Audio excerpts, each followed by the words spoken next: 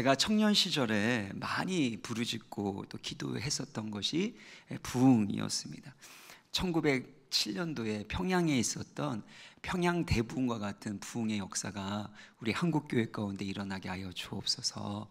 또 미국에 있었던 이 대각성 운동 1차부터 4차까지 그렇게 왕성하게 일어났었던 그 대부흥이 우리 한국교회, 우리 청년들 가운데 일어나게 하여 주옵소서 아, 정말 많이 기도를 했습니다.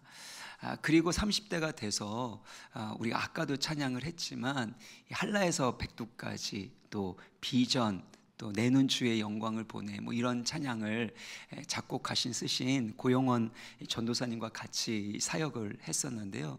고영원 전도사님이 부흥한국을 이렇게 섬기고 있었는데 그때 제가 섬기고 있었던 그 교회와 함께 이 통일 선교를 위해서 또 세계 선교를 위해서 간절히 기도를 했습니다. 그때 제가 기도 인도를 담당 하고 있었기 때문에 그래서 통일 선교를 위해서 또 해외 선교를 위해서 그리고 고용원 전사님이 작곡했었던 부흥과 관련된 또 열방을 향한 하나님 아버지의 마음을 품고 그 선교를 위해서 참 많이 기도했었던 때가 떠올랐습니다.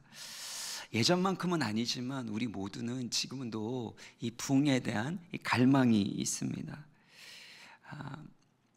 아, 저만 그런 게 아니라 우리 모두에게 그런 붕의 갈망이 있는데 그런 붕의 역사를 우리 와우리 교회 가운데 여러분의 삶과 가정 가운데 이터 가운데 주시기를 주의 이름으로 축원합니다. 근데 부흥이 무엇인가라고 했을 때 뭐 여러 가지 설명들이 있을 수 있지만 사실 한마디로 하면 이 죽은 영혼들이 침체된 영혼들이 다시 살아나는 것 이게 부흥입니다. 그러니까 다시 살아나는 것, revive, 리바이벌이라고 하는데 다시 살아나는 게 부흥입니다.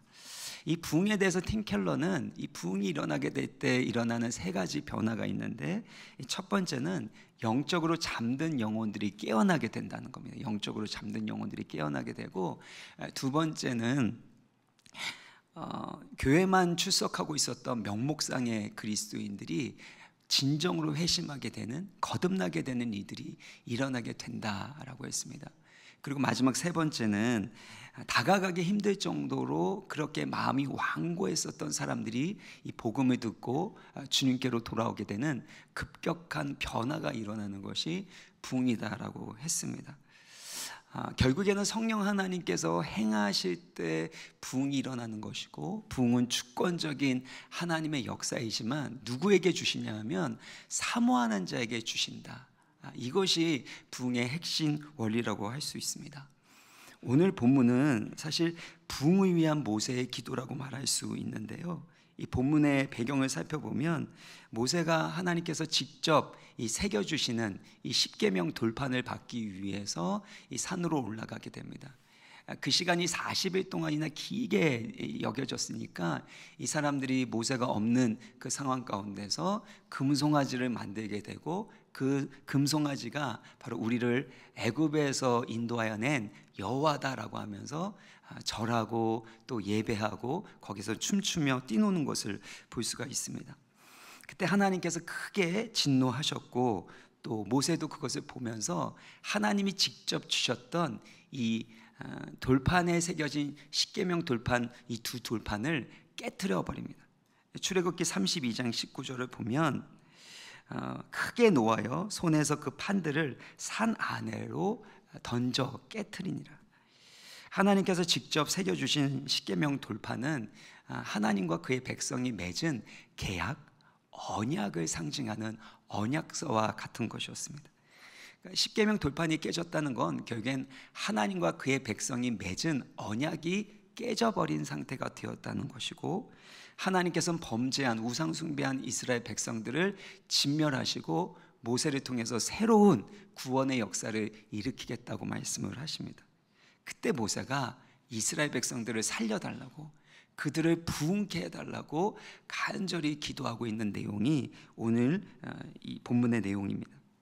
그래서 하나님께서 그의 기도를 들으시고 진멸하지 않으시고 그들이 가나안 땅에 들어갈 수 있도록 해주시겠다라고 말씀을 하시는데 여기에 큰 문제가 있습니다.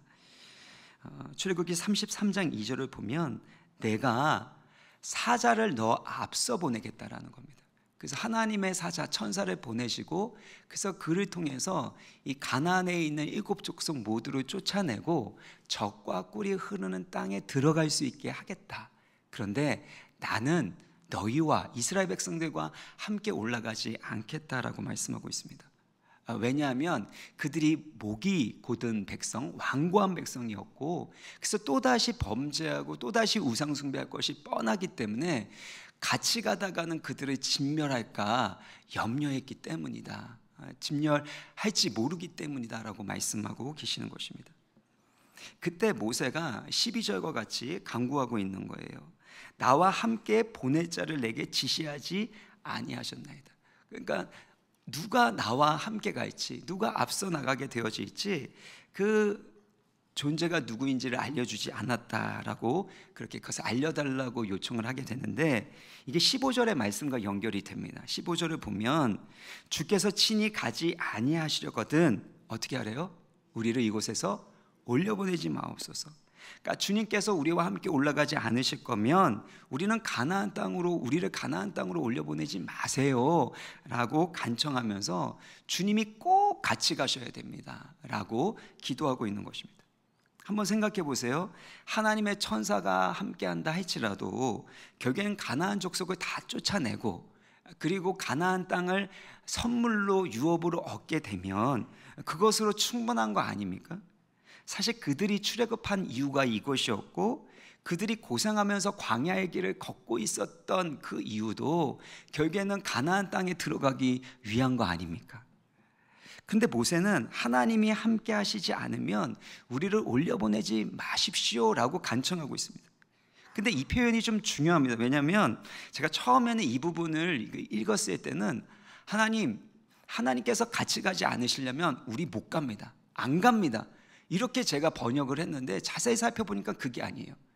우리 못 갑니다. 이렇게 표현하면 누가 결정권을 가지고 있어요? 내가 가지고 있죠. 하나님 함께 안 가실 거요?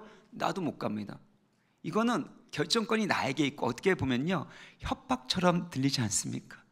우리가 보통 하나님께 그러죠. 하나님 이거 안 해주실 겁니까? 그러면 나도 못합니다.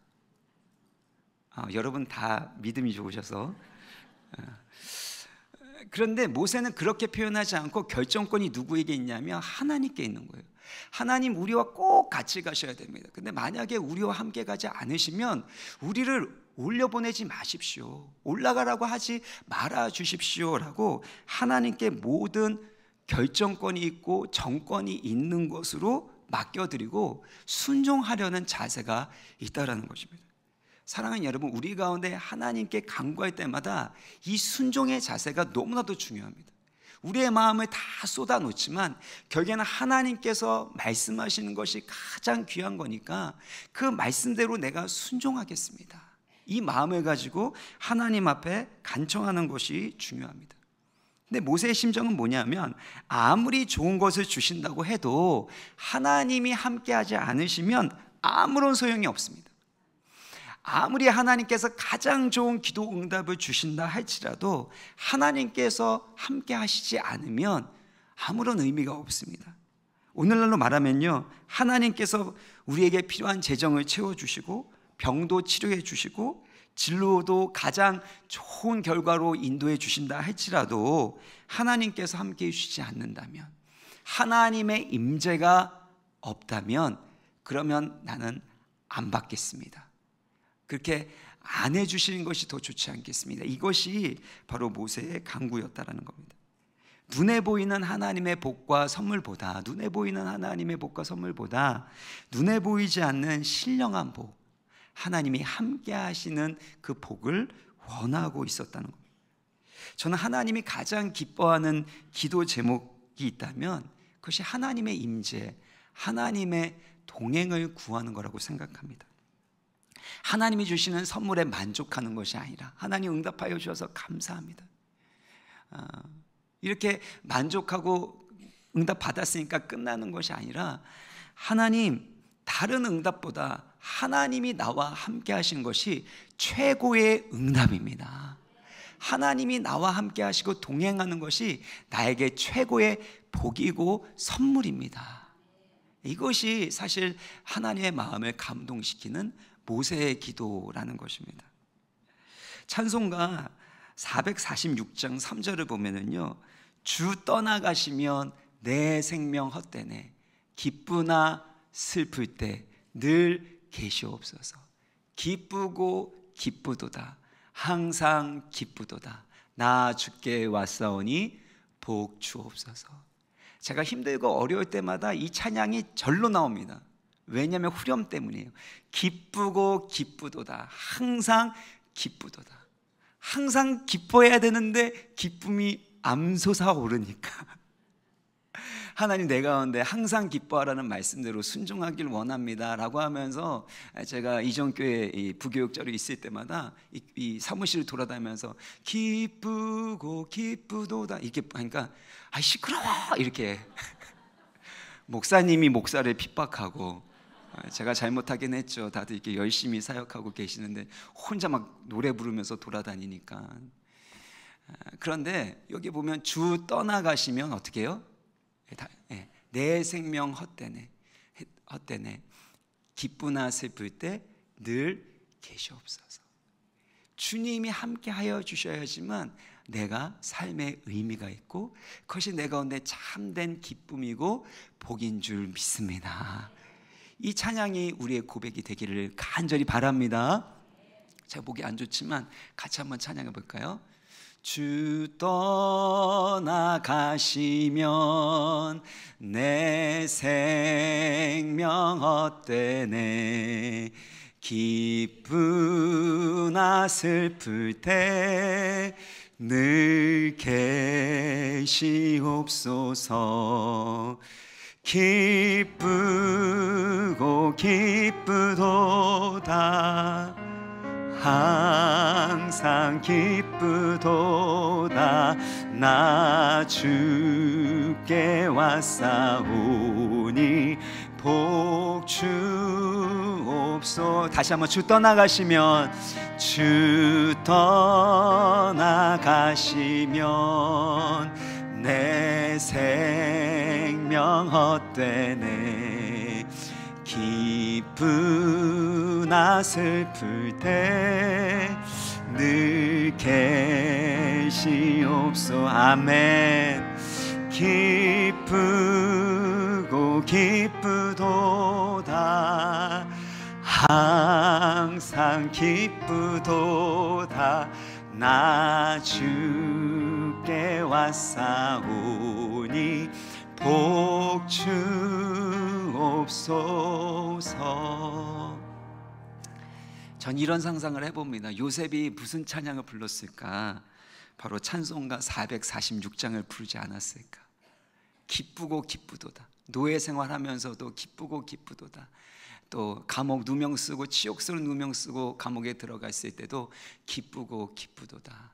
왜냐하면 주 떠나가시면 내 생명 헛될 수밖에 없는데 주님이 함께 하시고 함께 하실 뿐만 아니라 하나님의 뜻이 이루어지는 형통의 역사가 일어나고 있으니까 내가 이해가 안 되고 때로는 해석은 안 될지라도 하나님의 해석은 이루어질 줄 믿습니다. 그러면서 이것이 하나님의 함께 하심이 최고의 복이라고 고백하면서 그렇게 기쁨으로 살아가지 않았을까 상상해 봅니다. 우리 인생 가운데 무슨 일이 있던지 간에 그 어떤 선물보다 하나님의 임재, 하나님의 함께 하시고 동행하심이 가장 큰 복이요 기쁨인 것을 경험하시고 간증하실 수 있는 참된 행복자가 되시기를 주의 이름으로 축원합니다. 예, 그렇다면 이걸 가지고 기도했었던 모세의 기도의 특징이 무엇인가 한번 살펴보겠습니다. 하나님과의 친밀한 관계의 근거에서 기도하고 있는 것을 볼 수 있습니다.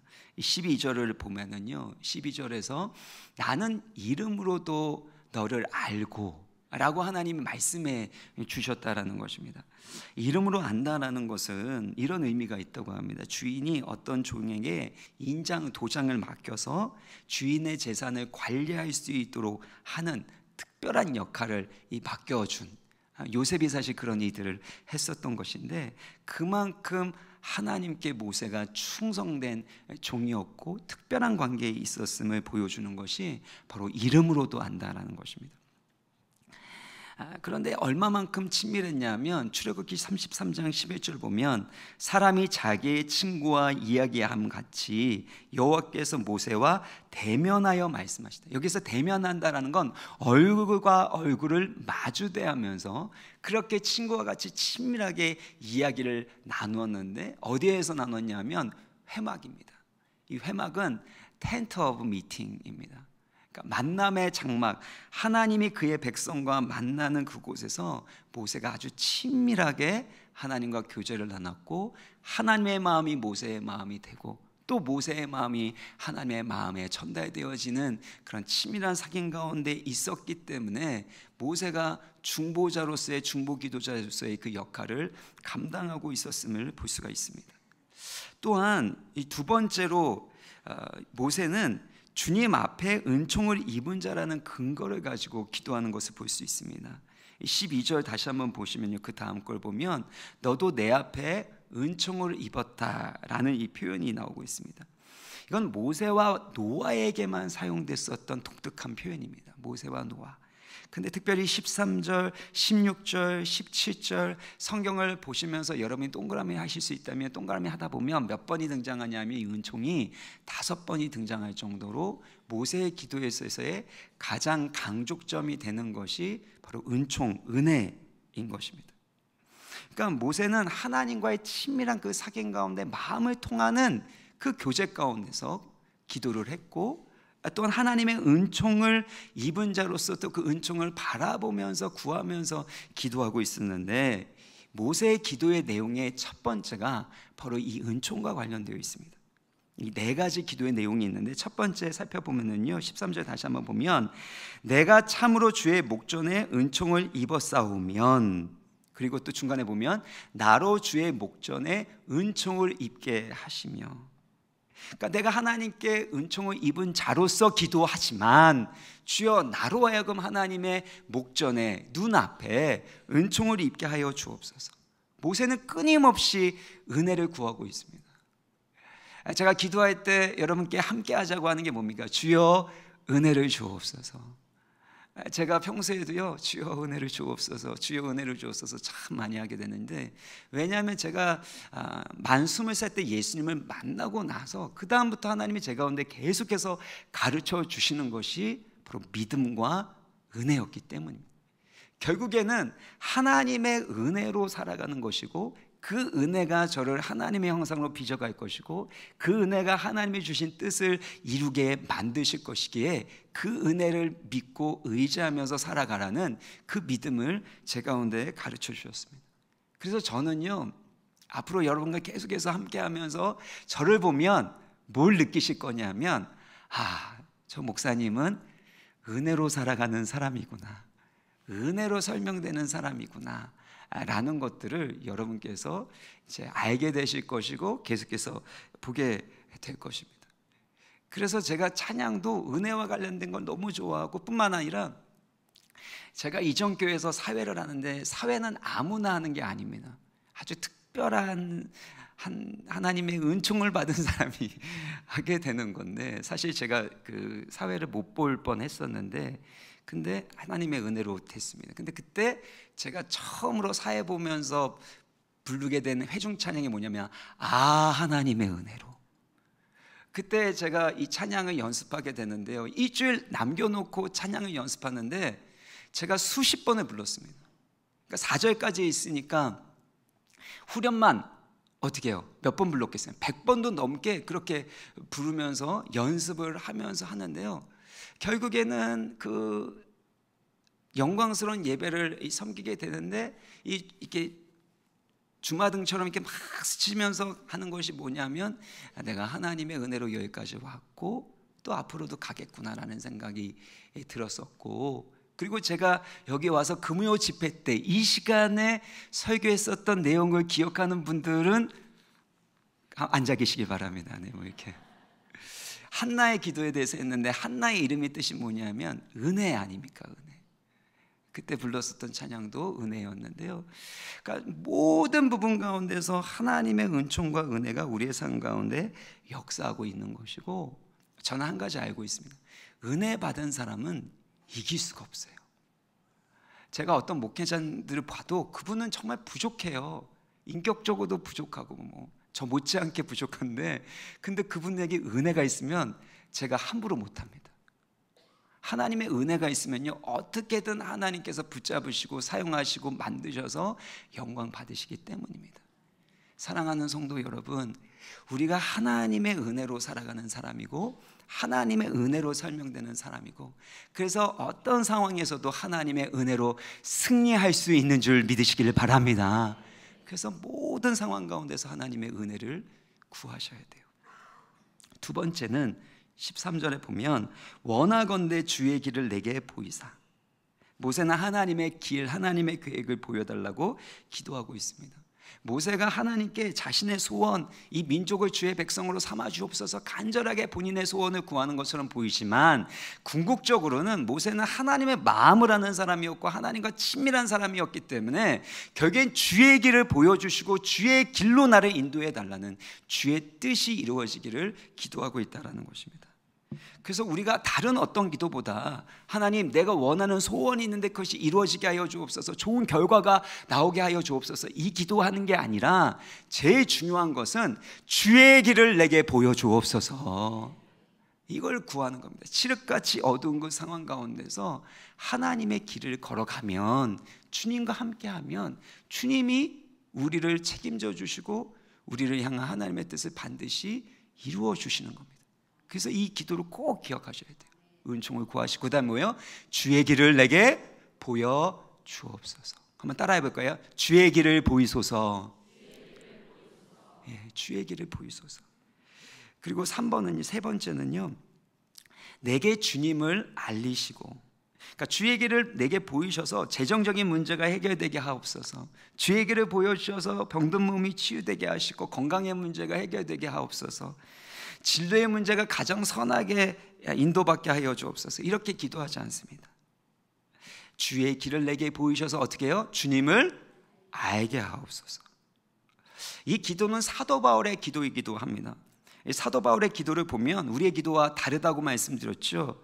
사도 바울은 더 좋은 환경과 여건을 위해서 기도하지 않습니다. 조금 더 행복한 삶, 그것을 구하지도 않고 심지어 건강을 위해서도 기도하지 않고 사회적 성공을 위해서도 기도하지 않습니다. 사도 바울이 에베소 교회를 위해서 기도하게 되어질 때 에베소 교회는 당시에 많은 고난과 핍박 가운데 있었습니다. 그때 에베소, 에베소 교회 성도들 향하여 어떤 기도를 하냐면은요.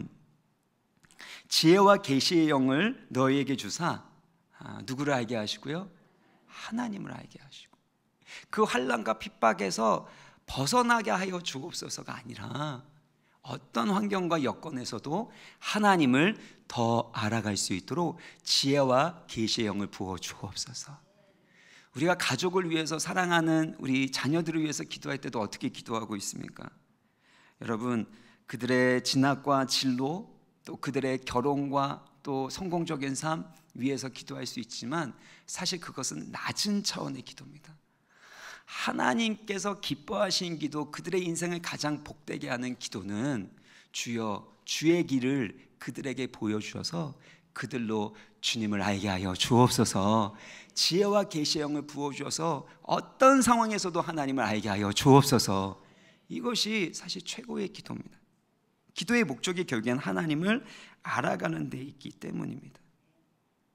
그래서 모세는 더 좋은 환경, 더 좋은 성취와 결과를 위해서 기도하지 않고 더 하나님을 알아가기를 위해서 기도했고 하나님과의 더 좋은 관계를 위해서 기도했다라는 사실을 꼭 기억하십시오. 그렇게 하나님과 동행하면 하나님을 알아가게 되면 어떻게 될까요? 잠언서 3장 6절의 말씀 같이 읽겠습니다. 시작. 너는 범사의 그를 인정하라. 그리하면 내 길을 지도하시라. 우리의 길을 지도하시는데 누구에게요? 모든 일 가운데서 하나님을 인정하는 자. 근데 여기서 인정한다는 것이 히브리어로는 야다이고 이 야다가 동치마다 알다라는 뜻을 가지고 있습니다. 그러니까 모든 상황에서 하나님을 알아가면 그리고 이 야다라는 건 하나님과의 친밀한 사귐 가운데서 하나님을 경험하면서 부부가 같이 살면서 서로를 알아가는 것처럼 우리가 하나님을 알아가는 것 경험을 통해서 알아가는 것을 의미한다고 말씀드리지 않았습니까?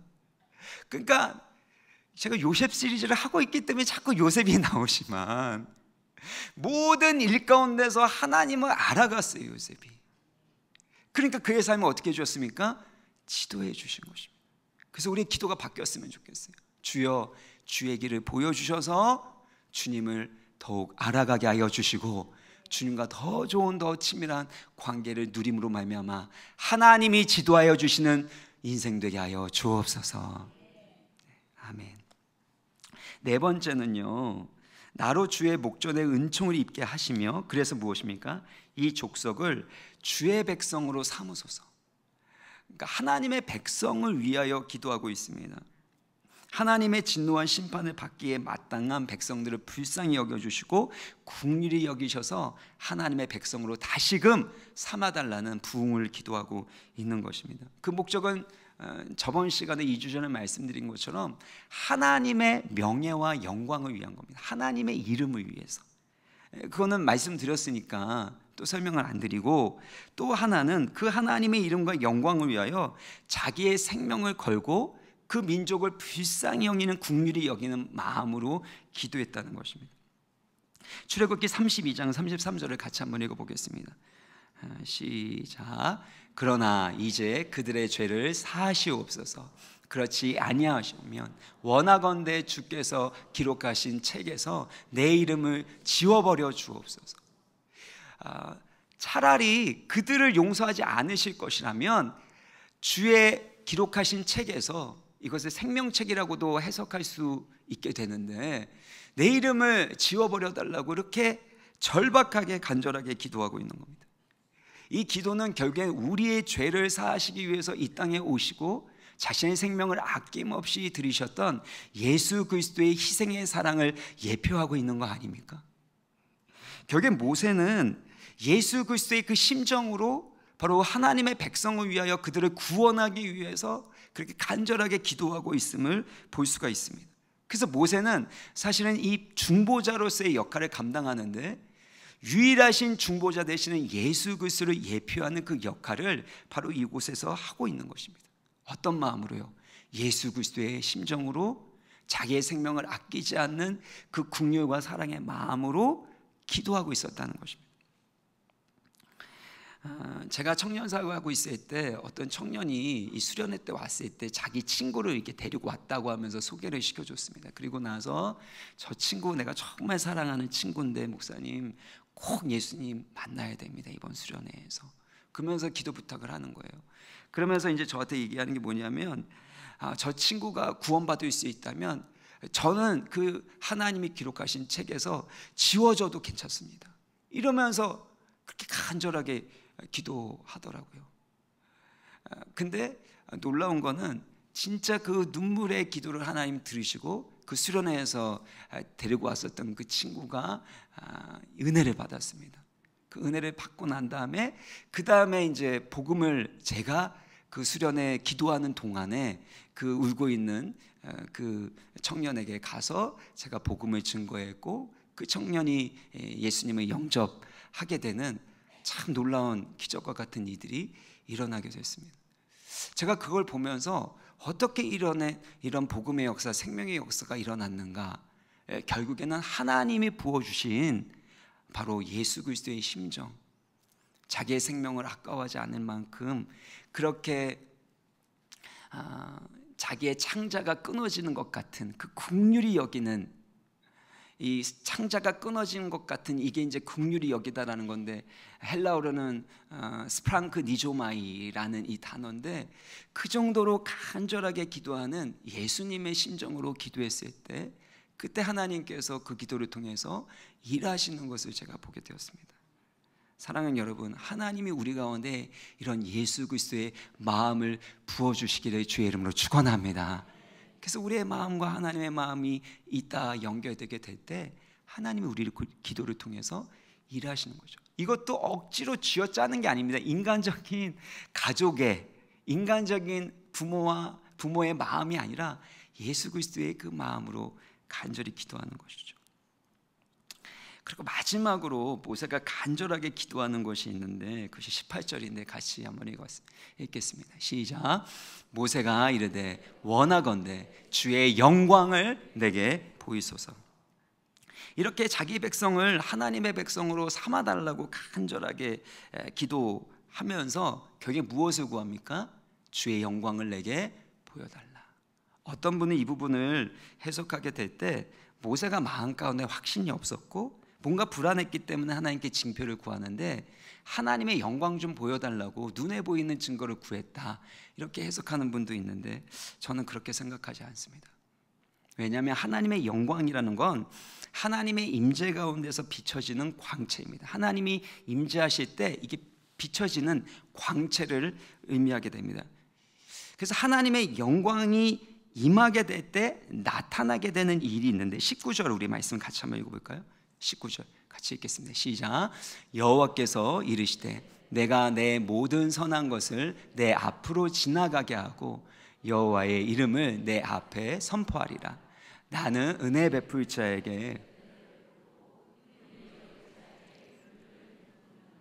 예. 하나님의 영광이 임했을 때 그것이 비춰지는 게 그게 영광이라 그랬죠. 영광의 광채라고 하지 않았습니까? 이때 무슨 일이 일어나냐면 하나님의 모든 선한 것이 이 모세에게 나타나게 됩니다. 그러니까 하나님께 속한 모든 것, 하나님의 성품도 그렇고 속성도 그렇고 하나님이 주시는 모든 것들도 어떻다는 거예요? 다 선하시다는 거예요. 그래서 우리가 좋으신 하나님, 이게 선하신 하나님 아닙니까? 그러니까 하나님을 단 하나의 단어로 설명을 한다면 거룩하신 하나님도 있겠지만 선하신 하나님이라는 겁니다. 그 두 번째는 여호와의 이름입니다. 여호와의 영광은 여호와의 이름을 선포하는 것과 관련되어 있습니다. 이름 안에는 하나님의 성품과 속성이 들어가 있고 또 하나님이 하시는 일들이 이름 가운데 들어가 있지 않습니까? 그래서 여호와 니시는 여호와의 나의 깃발이다라는 것이고 여호와 이레라는 것은 하나님께서 공급하신다, 뭐또 나타나신다, 뭐 이런 의미가 있는 건데 결국엔 하나님의 성품과 속성, 그분의 하시는 일이 다 어디에 포함되어 있다고요? 하나님의 이름에 되어 있다는 겁니다. 그리고 하나님의 하시는 일, 그 이름을 가지신 하나님께서 은혜 베풀 자에게 은혜를 베풀고 국률이 여길 자에게 국률을 베푸시느니라. 이게 하나님의 영광이라는 겁니다. 이게 하나님의 영광이에요. 그러니까 이 하나님의 영광이 나타나게 되면 진멸당해야 되고 저주받아 마땅한 이스라엘 백성들이 무엇을 얻게 되는 거예요? 하나님의 은혜를 얻게 되고 하나님의 국률하심을 얻게 돼서 그들이 다시금 살아나는 역사가 일어나게 된다는 겁니다. 그래서 모세가 하나님의 영광을 보여달라는 것은 단순하게 징표를 구하는 것이 아니라 하나님의 자비롭고 은혜로우신 성품을 보여주시고 하나님의 하나님 되신과 구원을 나타내 주옵소서 이거를 구하고 있는 것입니다. 그래서 우리가 하나님께 영광을 돌린다라고 표현을 하는데 그냥 하나님께서 영광 받으시는 게 아니라요. 하나님이 어떤 분이신지가 우리를 통해서 드러나게 되는 게 하나님께 영광이라는 겁니다.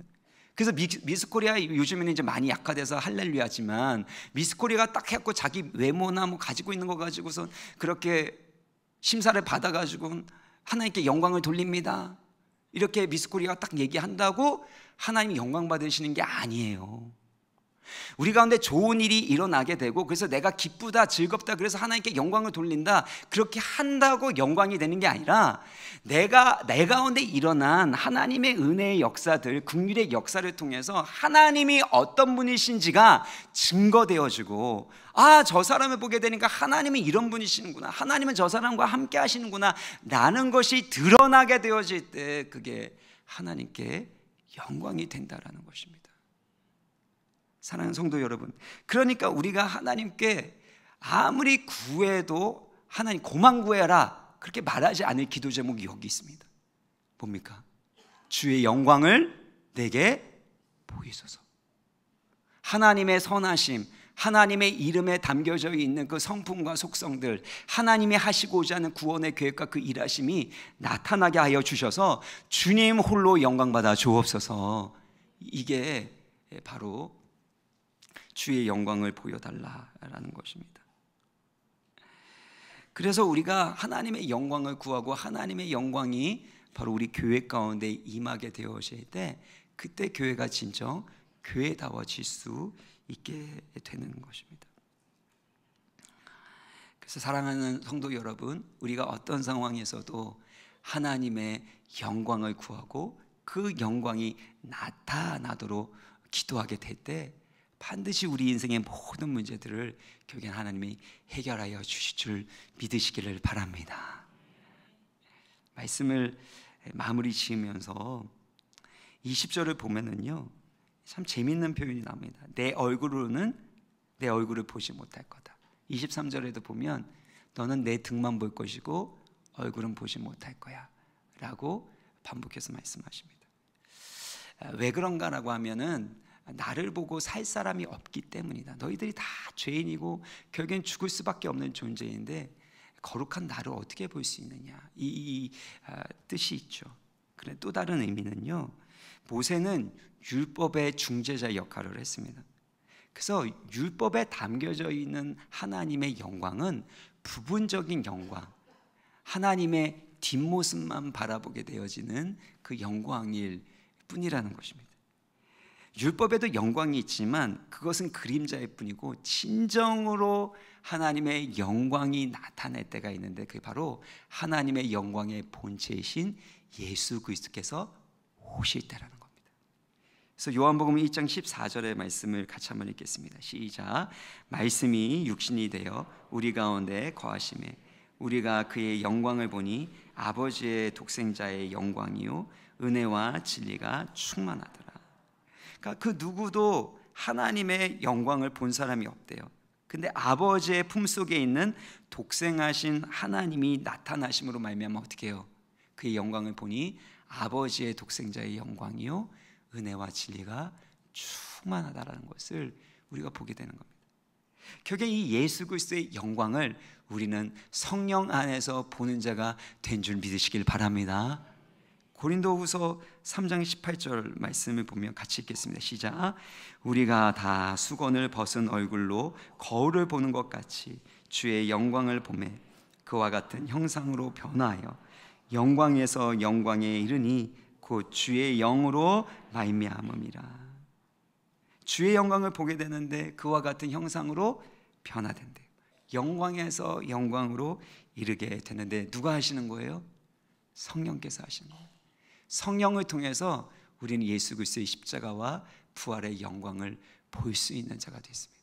어쩌면 모세보다도 더 영광스러운 그 하나님의 영광, 위대하신 무거운 영광을 보게 된 것입니다. 그러면 매주 아니 매일 우리가 주님을 예배할 때마다 이 예수 그리스도의 십자가와 부활의 영광을 볼 수 있는 영안이 열리시기를 주의 이름으로 축원합니다. 예수 그리스도 함께 십자가에 못 박혀 우리가 죽었고 우리의 옛사람은 죽었고 우리 안에 그리스도께서 살고 계신다라는 것. 그 성령으로 말미암아 하나님의 영광을 볼 때마다 어떻게 된대요? 다시 보여 주시면 그와 같은 형상으로 변화되게 하신다는 것입니다. 사랑하는 성도 여러분, 우리가 이 하나님의 영광을 보는 예배자 되길 원하고 이 영광을 구하는 모세와 같은 기도의 사람 되시기를 간절히 소망합니다. 그래서 우리 인생에 있는 모든 문제가 해결될 뿐만 아니라 이 영광이 임하게 될 때 진정으로 풍의 역사가 일어납니다. 죽은 자를 살리시고 없는 것을 있는 것으로 부르시는 그 하나님의 영광이 여러분의 삶과 가정 가운데 또 이번 우리 주일학교 모든 아, 성경학교와 또 캠프 가운데 또 청년의 수련회와 또 네팔 성교 가운데 그렇게 하나님의 영광으로 충만하시기를 주의 이름으로 축원합니다.